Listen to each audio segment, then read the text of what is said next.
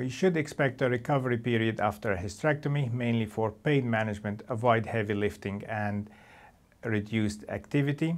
If the ovaries are removed also, there will be some hormonal changes and you might expect some HRT treatment.